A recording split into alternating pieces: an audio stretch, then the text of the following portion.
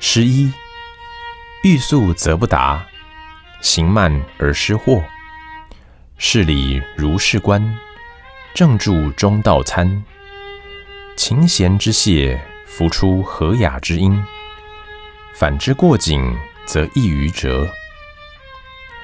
不管你做什么事，如果不切合实际，过于太急太快，往往不能成功。因为它不符合客观事物的逻辑法度。如果速度太慢，往往又错失良机，达不到自己的目的。所以行慢而失货。凡是世界上的一切事理，都应该注意这两个正反不同的关键。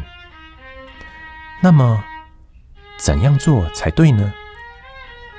这就要认真研究分析，取其适中，找到最佳的方法。